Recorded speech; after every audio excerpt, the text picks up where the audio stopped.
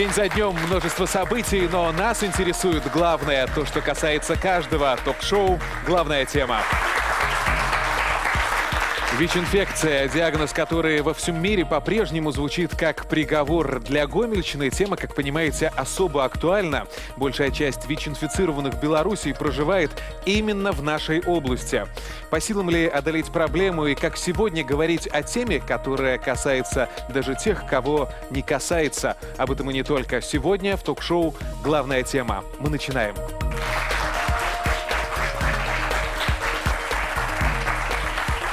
Я с удовольствием представлю гостей программы. Заместитель главного государственного санитарного врача Гомельской области Ростислав Зинович. Ростислав Николаевич, добрый день. Располагайтесь. Спасибо. Заведующий отделом профилактики ВИЧ-СПИД Республиканского центра гигиены, эпидемиологии и общественного здоровья Анна Русанович. Анна Витольдовна, добро пожаловать. Председатель экспертного совета информационной стратегии по ВИЧ-СПИДу в Республике Беларусь, специалист по работе с общественностью и коммуникации ЮНЕЙДС в Беларуси Сергей Кручинин.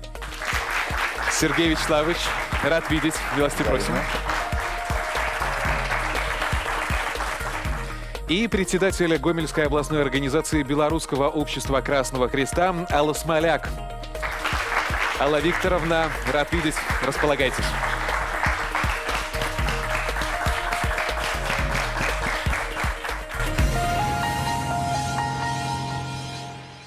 Возможно, именно ввиду актуальности для Гомельской области к этой теме в этой студии мы неоднократно возвращались. И все же сегодня, в самом начале программы, предлагаю озвучить статистику, самую показательную. Вам слово. На территории Гомельской области проживает 6909 ВИЧ-инфицированных человек. Значит, если говорить о э, возрастах, то на сегодняшний день порядка 60% это возраст старше 35 лет. В любом случае, значительная э, доля ВИЧ-инфицированных, ВИЧ-позитивных приходится, э, мы уже об этом говорили, именно на Гомельскую область. Алла Викторовна, э, Ростислав Николаевич, как считаете, почему именно так сложилось? В 90, 1996 году значит, произошла вспышка ВИЧ-инфекции среди потребителей инъекционных наркотиков в городе Светлогорске. Ряд э, районов, это Октябрьский, Жлобинский, тоже произошел рост за счет потребителей э, наркотиков. Ну а в дальнейшем уже присоединился и половой путь передачи, который на сегодняшний день является доминирующим. Может быть, здравоохранение все-таки лучше сработало в определенный момент э, Гомельской области, потому что был скрининг э, стопроцентный, вот если касательно Светлогорска. Затем еще ряд регионов нашей Гомельской области, которые также проходили скрининг, и поэтому большая выявляемость. Кто сегодня в группе риска, Сергей Вячеславович? Традиционно по-прежнему это потребители инъекционных наркотиков, люди, употребляющие наркотики. Это мужчины, имеющие секс с мужчинами. Я подчеркну, это не обязательно гомосексуалы. Это могут быть, которые изредка иногда практикуют какой-то э, секс с другим мужчиной. И третье – это женщины секс-бизнеса, которые занимаются коммерческим сексом. Вообще, в принципе, это касается каждого каждого. Сегодня рискуют заразиться ВИЧ-инфекцией а, не только а, женщины секс-бизнеса, наркоманы и так далее. Сегодня а, статистика говорит о том, что огромное количество случаев, когда становятся ВИЧ-положительными взрослые состоявшиеся люди. Естественно, рискуют проблема. все те, кто не использует презерватив и ведет рискованное поведение. Вот и все. Если говорить о такой возрастной группе, как 35+, да, то по сравнению с началом началом развития эпидемического процесса здесь число выявлений случаев возросло в 27 раз. Как это объяснить?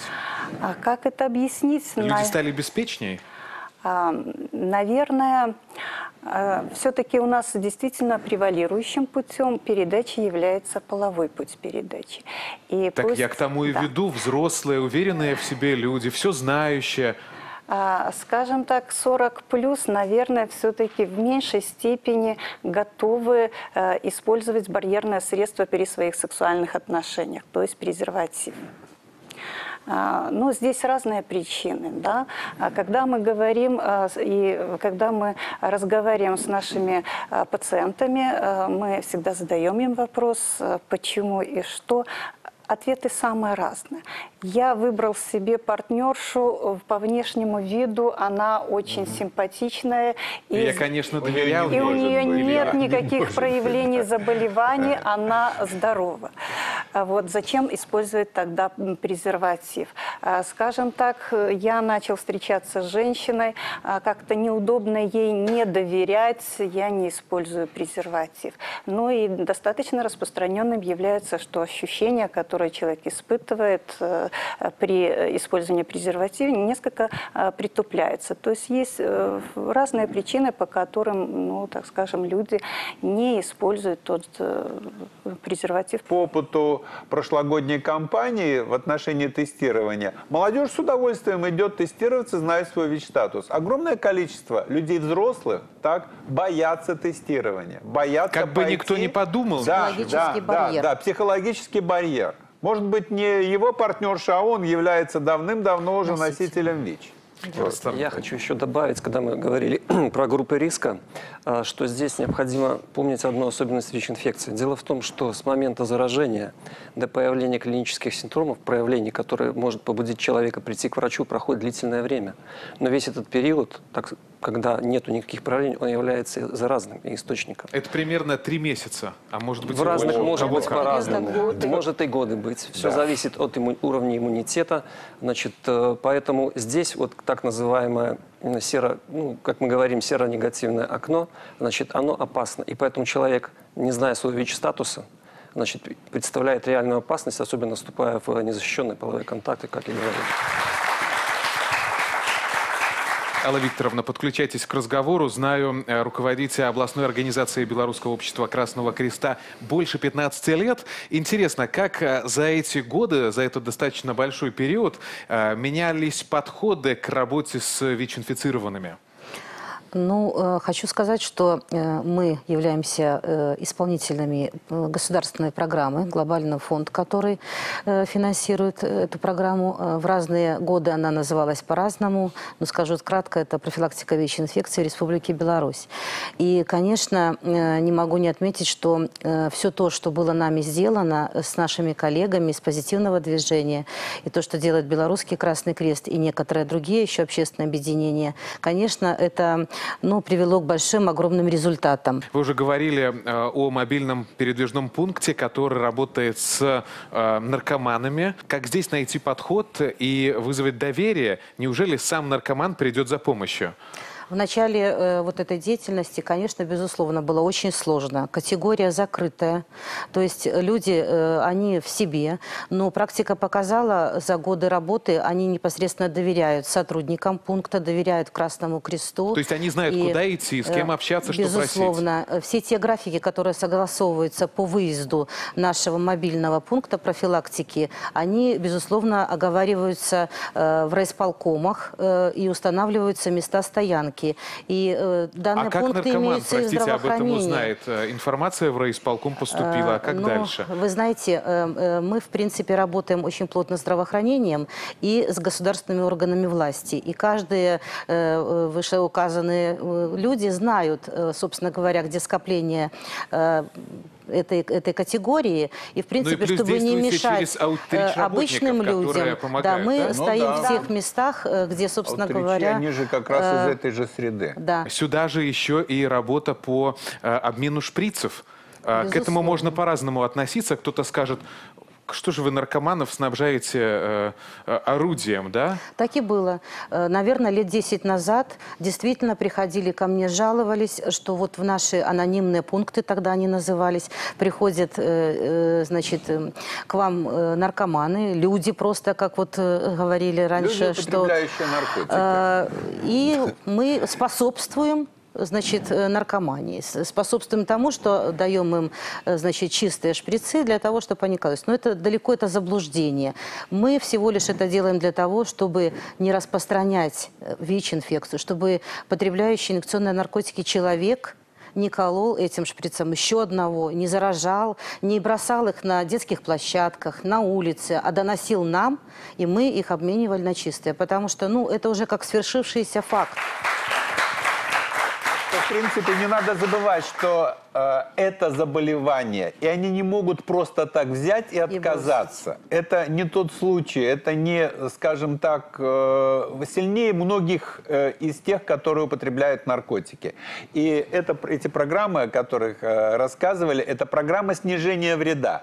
Снижение вреда не только для них, но и для всего общества. Для всего общества в первую очередь, потому что это, чем меньше будет возможности распространения ВИЧ-инфекции и, соответственно, потребления инъекционных наркотиков в среде, которые потребляют, тем больше будет безопасности для всех тех остальных, для всего общества. Поэтому это делается ради всех. Кроме всего, если мы говорим об анонимных консультативных пунктах обмена шприцев, там не только обмен шприцов. Да? Совершенно Там еще профилактика и гепатита С, который имеет точно такой же путь передачи. Это профилактика того же туберкулеза, потому что на анонимных пунктах проводится мини-анкетирование клиентов на первичные признаки туберкулеза. И, безусловно, эта группа людей, потребителей наркотиков, они подвержены заболеванию туберкулеза. То есть они знают, что там они получат э, полный комплекс от совета до реальной помощи. Да. При необходимости социальные работники сопроводят их в лечебную организацию за получением квалифицированной медицинской помощи. Вот еще одно направление в вашей работе э, – женщины секс-бизнеса. Ведь достаточно закрытая такая группа, э, особенно для э, организации, э, общества и так далее. Как удается с ними наладить контакт и руку помощи, которую вы протягиваете, они ну, готовы ее принять? Конечно, готовы. Э, Вот мой коллега говорил, что, собственно, это не искоренивший, как и древнюю эту профессию, э, секс-бизнес, э, это было, есть и будет. Другое дело, что оно в некоторых странах легализовано, у нас оно не легализовано, но тем не менее, значит, это группа риска. И мы работаем, и очень серьезно с этой категорией работаем. Мы направляем, значит, женщин, консультируем, во-первых, у нас социальные работники работают, выезжаем тоже в соответствии с нашим графиком на трассы, э, значит, э, ну, по другим учреждениям, где мы уже знаем места дислокации этих женщин. И, конечно, проводим с ними огромную работу. И женщины, которые Но они интересуются... идут на контакт? э, Да, и- конечно. Идут они на контакт. Но И нужно, чтобы доверяли, доверяли тем людям, которые, тем людям, которые к ним устанавливать. Да.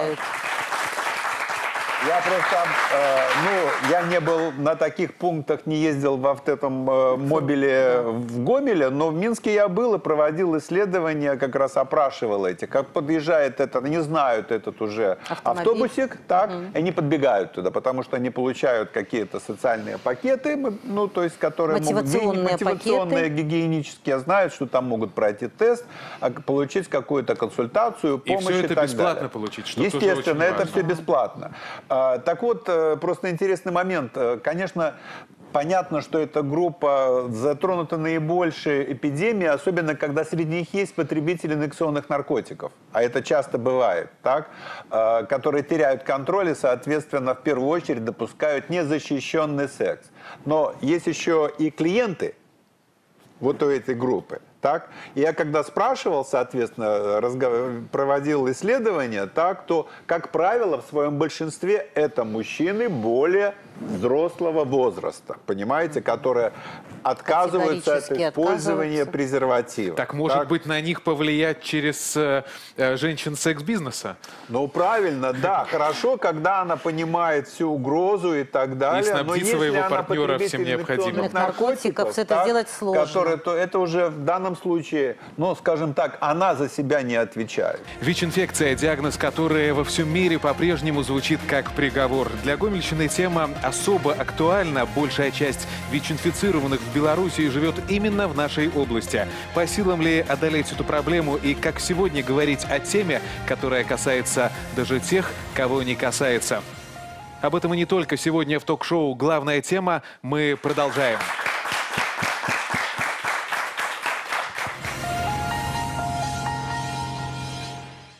В любом случае, статистика не слишком радует. Ростислав Николаевич, я знаю, что не так давно на заседании облсполкома была озвучена э, инициатива усилить скрининг. Это исследование, которое и так ведется э, по региону. Э, расскажите э, суть предложения. Значит, тогда было, э, на исполкоме был рассмотрен вопрос, значит, и э, там было принято такое решение, что для того, чтобы максимально на сегодняшний день охватить те территории, которые являются территориями риска, значит, э, провести дополнительное исследование плюс к тем э, контингентам, которые определены э, Министерством здравоохранения. Как это будет происходить? Давайте объясним. Значит, э, при любой возможности и э, когда человек обращается за медицинской помощью по любому поводу, ему будет предлагаться пройти э, тест на ВИЧ-инфекцию. Это будет бесплатно. Значит, э, будет проводиться консультирование дотестовое, послетестовое. Значит, э, и э, этот человек будет получать затем результат. И все же, чтобы было э, зрителям более понятно, если у э, врача возникнет малейшее э, э, подозрение о том, что все-таки стоит провести исследование, он имеет право это сделать, правильно? Нет. Вот, э, значит, Нет, нет, нет. это Правильно. врач... да, Есть медицинские показания, по которым в обязательном порядке их больше, почти 30, при которых назначается тестирование ВИЧ.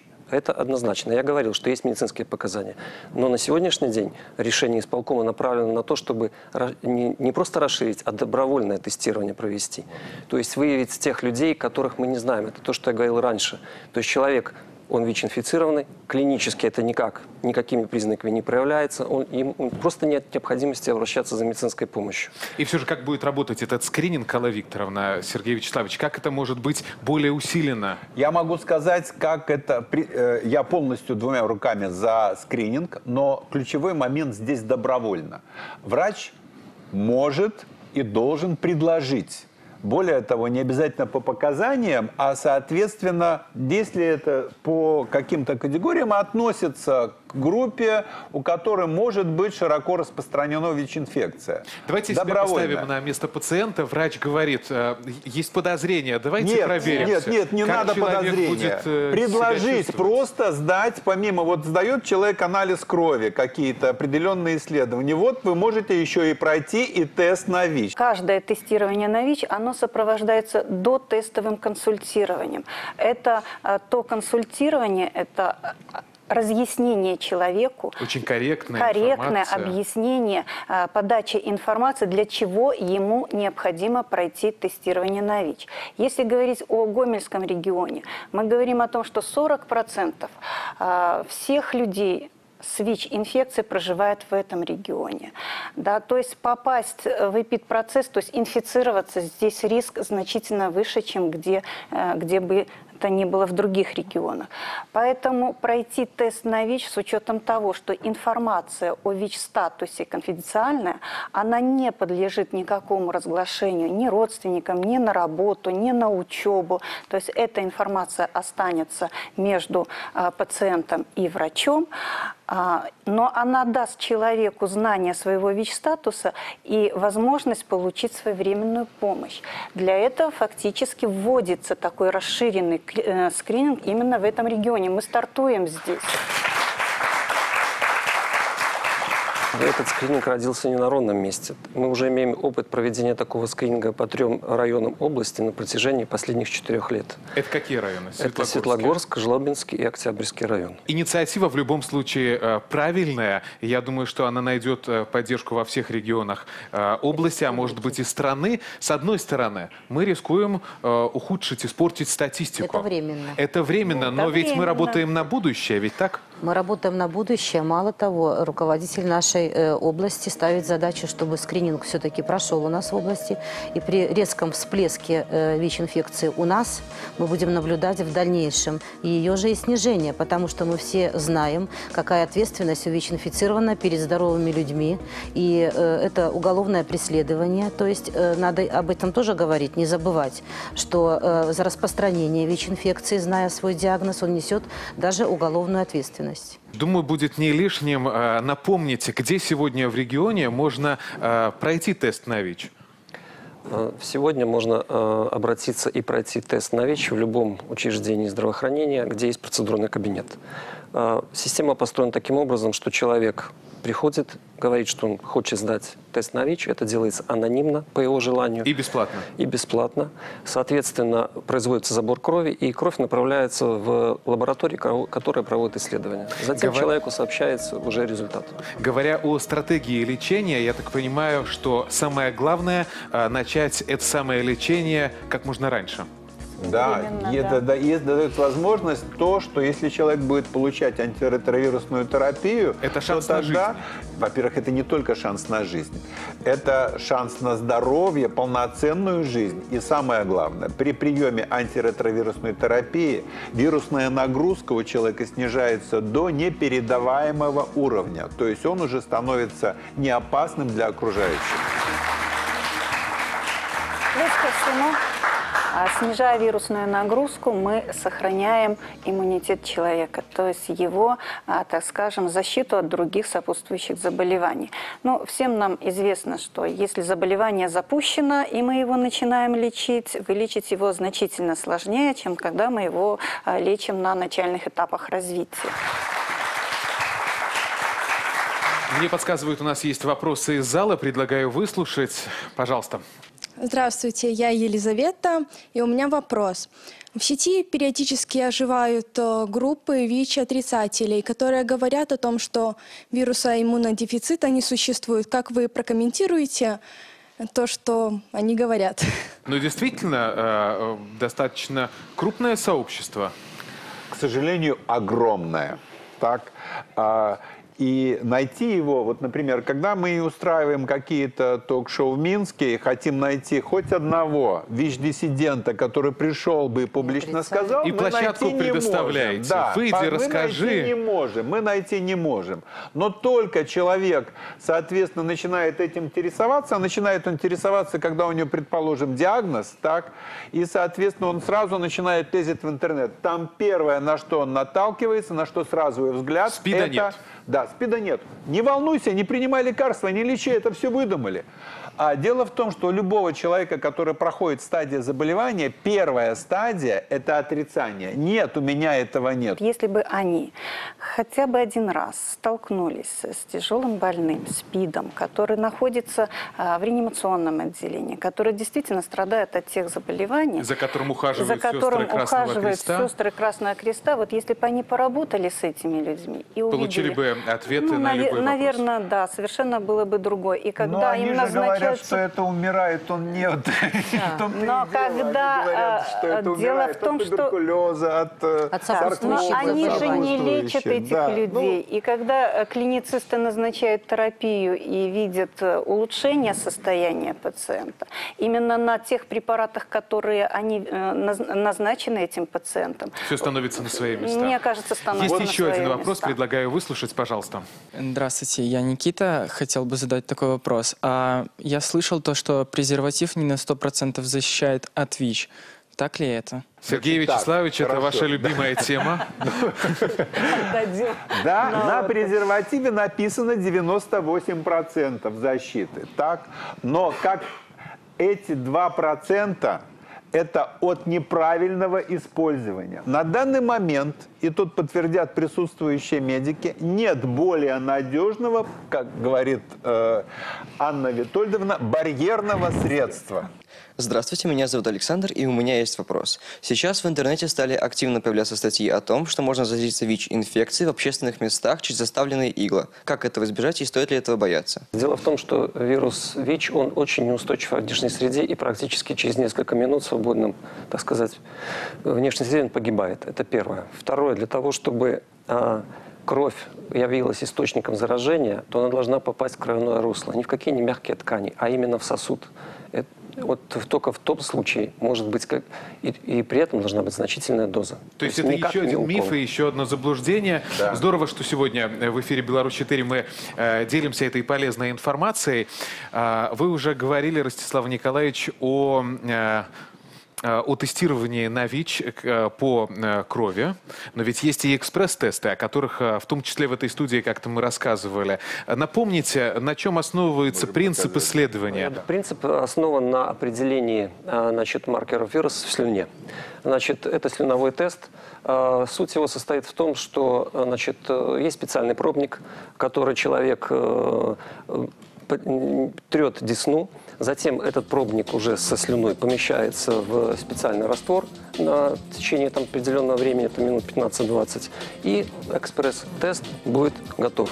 И будет либо отрицательно, либо положительно. Знакомые кадры, Сергей, Да, увидели. знакомые кадры Мобильный как раз нашей компании. Так, это с нашей компании касается, даже тех, кого не касается в прошлом году. Я просто хотел предложить, э, вот как раз о том тесте, о котором рассказывали, только что слышали, если есть желающие, то, соответственно, Есть могут... практически Да. уникальная возможность. Да, уникальная возможность. «Беларусь 4». Соответственно, я взял как раз, привез из Минска 4 штуки. Так, так что если кто-то есть желающий есть, то... Есть мы- желающие? Вот вы слышали, вам рассказали, как это нужно делать. Берете вот эту вот лопатку, так, и проводите по внутренней и внешней стороне десен. Так, чтобы с двух сторон лопатка была мокрая. По деснам. Ну, так хорошо. Ну а пока молодой человек проходит самотестирование, я м, э, расскажу вам э, ситуацию, которая случилась вот в ходе, а, так скажем, нашей информационной да? кампании, касается даже тех, кого не касается, когда молодой человек в ходе, э, так скажем, вот именно этой а, кампании э, получил свой положительный результат. А, Это совсем молодой человек, э, социально адаптированный, имеющий высшее образование, э, Который работающий. случайно пришел да, на он эту пришел на акцию нашу зрителям. акцию, как, как вот ваша молодежь здесь показана. Он прошел тест, э, выявился положительный результат. На сегодняшний день он на- наблюдается у инфекционистов, э, получает э, свою терапию, ну, чувствует себя хорошо. То есть та самая поставленная задача раннее выявление, благодаря таким акциям, Но как раз вообще-то таки... мы не ставили задачу непосредственно, чтобы максимально выявить. Это эта задача будет, это, да, эта задача будет в этом году. Так, эта задача просто снять скажем, вот этот психологический барьер между людьми и тестированием, чтобы спокойно сдавали эти тесты, не боялись этого. Многие, когда идут даже анонимно сдавать тест, они сомневаются. Вот заш- увидели, зашел я туда и все остальное, так? Поэтому оптимально, когда экспресс-тестирование, можно будет экспресс-тест приобрести в аптеке. И человек может дома сам, не обладая никаким медицинским образованием, пройти этот экспресс-тест. Продолжим тему вместе с экспертом программы, которая прямо сейчас появится в студии на Пушкина 8, заместитель генерального директора Гомельского предприятия «Фармация» Людмила Сапега. Людмила Анатольевна, рад видеть. Подключайтесь к разговору. Какую партию экспресс-тестов а, готово закупить предприятие «Фармация» для реализации в Гомельской области? Ну, вы все понимаете, что речь идет о изделиях медицинского назначения, которые не являются товаром широкого спроса у населения. Поэтому, конечно же, предприятие «Фармация» сегодня готово закупить эти тесты. Договор заключен. Но, конечно, это будет для начала небольшая партия. Речь идет где-то о 250 штук. Мы закупим этих тестов, наборов. Но в дальнейшем, конечно, эти тесты на сегодня у нас заключен договор с отечественным производителем. Это значит, что мы можем по- получать этот товар на склад и в нашей аптеке еженедельно. То есть, как Любое только будете количество. чувствовать востребованность Да. этого да, теста, любое количество. кратчайшие Ведь сроки он будет поступать в аптеке. Это тоже является изделием медицинского назначения, которое проходит регистрацию в Республике Беларусь и, конечно же, имеет свой срок годности. Людмила Анатольевна, но вы ведь понимаете, что людей надо как-то стимулировать э, к тому, чтобы он пришел э, в аптеку за этим тестом. А Здесь э, тоже видите большой вклад именно информационных компаний. Ну, конечно же, э, понятно, что для того, чтобы пришли в аптеку и начали приобретать эти тесты, конечно, должна пройти информационная поддержка. Мы готовы ее оказывать в своих аптеках. Это и в качестве размещения различных материалов, которые будут э, выпущены э, и производителям предоставлены, и компаниями, которые будут заниматься продвижением данной продукции. Это и советы И наверняка со- специалистов. Конечно. И в то же время мы очень тесно работаем на сегодня с нашим э, центром гигиены, и мы размещаем, у нас есть э, в аптечных организациях э, мониторы, где размещаются социальные ролики абсолютно бесплатно. Если говорить о цене вопроса, что немаловажно, а, сколько ожидается а, стоимость одного экспресс-теста? Есть ли такая информация? Да, эта информация есть. Один тест или набор э, для проведения тестирования будет стоить около 6 рублей, 5,92 где-то вот. Как думаете, это много или мало? Ну, сложно сказать, много это или мало, но, конечно, это не бесплатно. Но это не бесплатно. Спасибо за полезную информацию. Ну а мы продолжаем.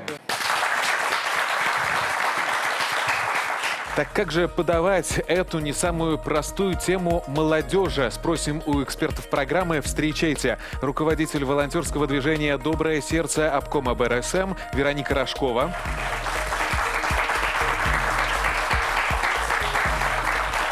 Художественный руководитель детско-юношеского ансамбля народного эстрадного танца и песни «Полесская зорочка» музырянка Елена Руденко.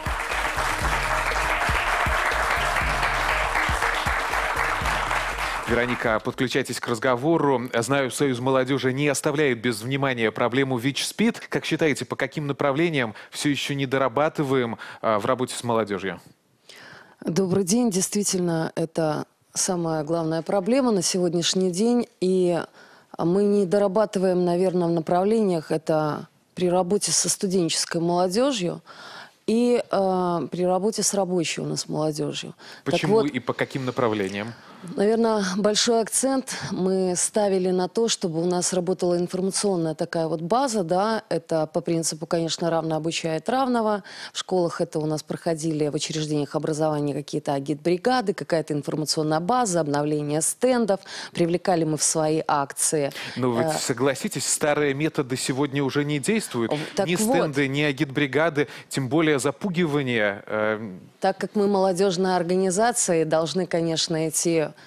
вперед, в ногу со временем, с нашей молодежью. На сегодняшний день, может быть, действительно такая вот информационная база, она не актуальна. Поэтому э, мы создаем э, такие программы для студенческой молодежи в 2017 году. И программы эти будут у нас направлены и э, называться, наверное, «Начни с себя». Это именно для студенческой молодежи. В каждом вузе будет создан свой студенческий десант, который будет работать по принципу «равный обучает равного», Романова. Далее он присоединится к, нашей, э, к нашему новому проекту, который э, в первую очередь э, направлен на рабочую молодежь. Вы, а, наверное, говорите про областной фестиваль социального театра. Да, это как раз-таки областной фестиваль социального театра, который мы запускаем с мая месяца. И к первому декабрю как раз мы именно этот фестиваль уже откроем и покажем. на сегодняшний день у нас уже есть заявки от предприятий, мероприятия, организации, которые готовы принимать участие в этом фестивале. Елена Петровна, подключайтесь к разговору. Спасибо, что приехали. У вашего коллектива из Мозыря есть э, э, за плечами авторский спектакль, э, который говорит о проблемах наркомании. Расскажите буквально коротко о его концепции. Много сегодня правильно говорилось. И действительно, об этом нужно не просто говорить, а кричать. Но как? Нужно подходить креативно. Так, как делает это наш коллектив. И что мы непосредственно, как мы к этому подходим?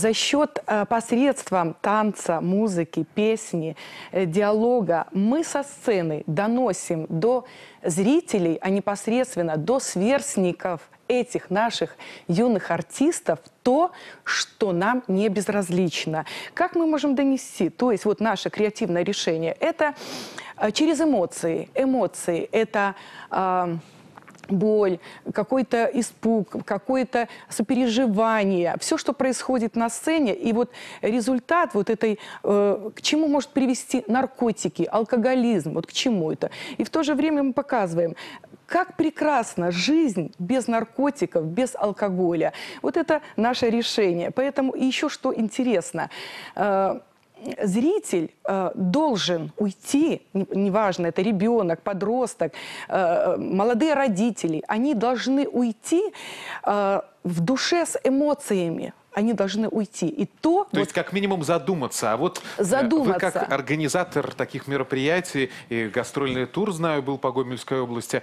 вы обращали внимание в зрительный зал? Глаза у людей горят, удалось ли а... заинтересовать? Э, это не просто горят глаза.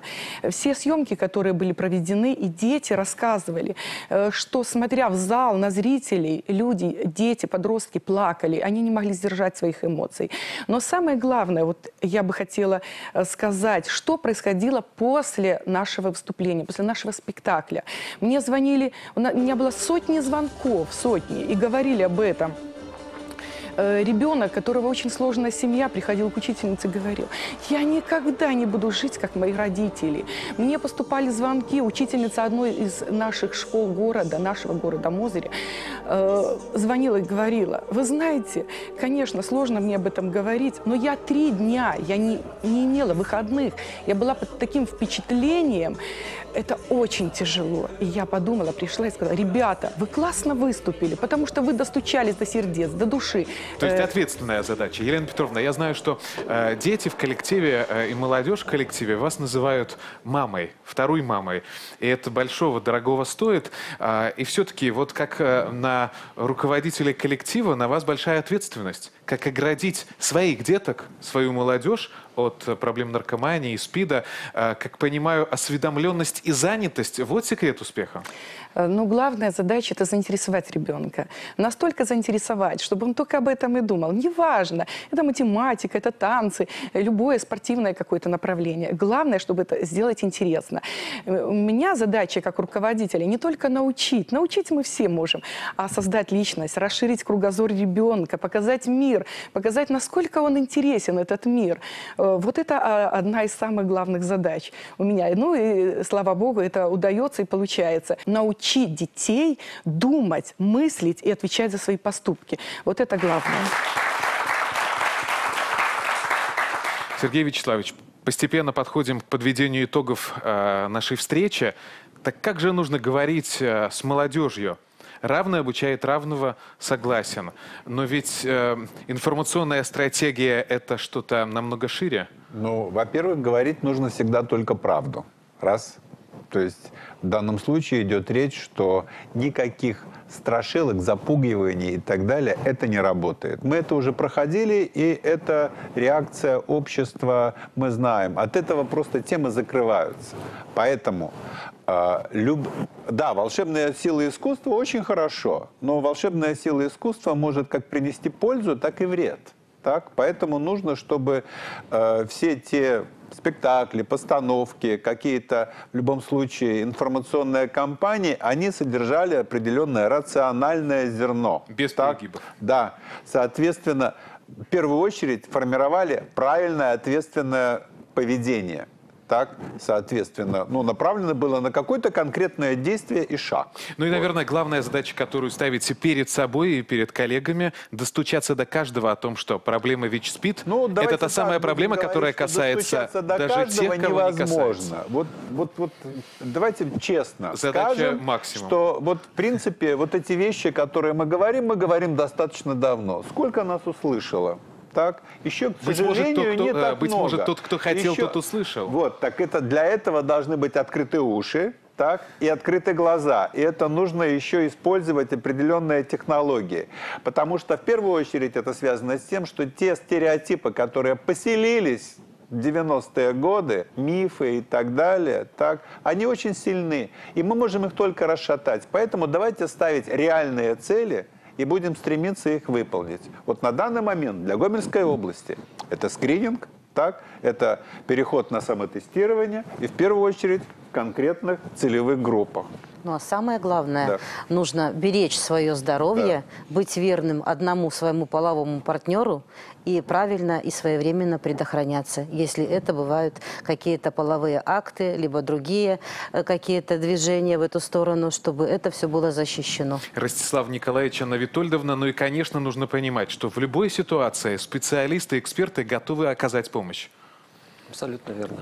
Значит, ну, я хотел бы сказать, что э, еще раз повторяю, что э, консультирование, которое проводят медики, оно в первую очередь нацелено на то, чтобы человека подготовить, значит, чтобы он смог оценить свое рискованное поведение, рискованное, и чтобы он добровольно согласился на тест, и чтобы он понял, что на сегодняшний день мы говорим о том, что ВИЧ-инфекция – это хроническая инфекция. То есть это не безнадежно, мы уже об этом говорили. С этой инфекцией люди живут, но своевременно поставленный диагноз, своевременно начатое лечение обеспечит качество жизни, продолжительность жизни, и, соответственно, не будет поставлять в опасность заражения окружающих, близких людей, других. Притом э, тестирование на ВИЧ возможно пройти анонимно в любой организации здравоохранения, если человек э, ну, боится раскрыть свои данные.